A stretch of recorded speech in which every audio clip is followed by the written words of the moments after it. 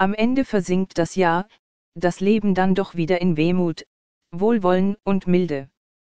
Zieht man erst einmal Bilanz, ist kein Platz mehr für allzu viel Kontroverse. Aus, vorbei und lange her?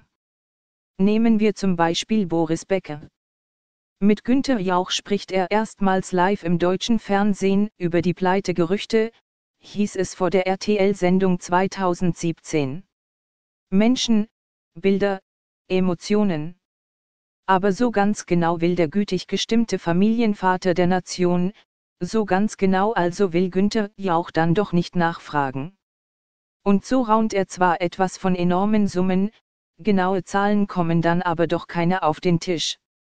Sie wollen Zinsen im hohen zweistelligen Bereich, ich nicht, weil es anders ausgemacht war, sagt Becker unbekümmert.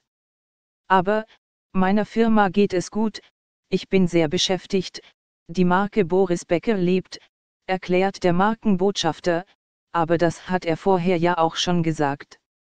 Der Abend ist halt einfach ein weiterer PR-Termin in seinem Leben. Lediglich gegen den Privatmann Becker laufe eben ein Insolvenzverfahren, sagt er aber die Uhr läuft für mich, so der Ex-Tennisspieler, und kommt bei Jauch damit auch durch. Der fragt lieber danach, wie es ist, 50 zu werden. Es hat verdammt wehgetan. Oder als ewig 17-jähriger Wimbledon-Sieger und Nationaleigentum in der Öffentlichkeit zu stehen. Ich habe mir dieses Leben ausgesucht. Jauch ist einer, der Boris Becker auch lieber für seine sportlichen Heldentaten bewundert.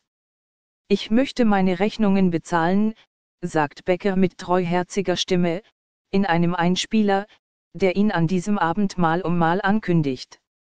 Was am Ende bleibt, ist dagegen diese Erkenntnis, das kann man sich nicht vorstellen, Boris Becker zu sein. Etwas in der Art könnte auch Walter Kohl, der Sohn des verstorbenen Altbundeskanzlers, von sich behaupten, vom Tod seines Vaters erfuhr er aus dem Radio, später bekam er im eigenen Elternhaus und vor laufender Kamera Hausverbot. Aber über all das ist er jetzt hinweg, er spricht nur von einem Abschied in Würde von Helmut Kohl, von Frieden und Ruhe und natürlich der Wiedervereinigung, seiner Mutter Hannelore, während alles andere Schnee von gestern sei.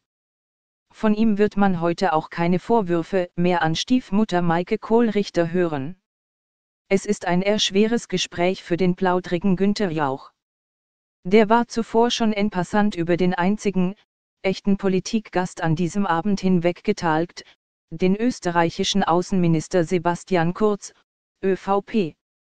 Dank der rechtspopulistischen FPÖ wird er wohl bald Österreichs jüngster Bundeskanzler werden wird. Wobei das böse R-Wort bei Jauch nicht fällt, er nennt die FPÖ lieber nicht sehr fremdenfreundlich und kurz antwortet ihm, dass die Koalition im Grunde alternativlos sei, weil die SPÖ, ähnlich wie vor kurzem noch die SPD in Deutschland, nach der Wahl eben lieber in die Opposition wollte. Und in Österreich hat die Große Koalition ja noch eine viel stärkere Tradition als in Deutschland. Die Sache mit der Alternativlosigkeit leuchtet offenbar ja auch ein, zumal Kurz dann noch sagt, diese Regierung wird proeuropäisch sein.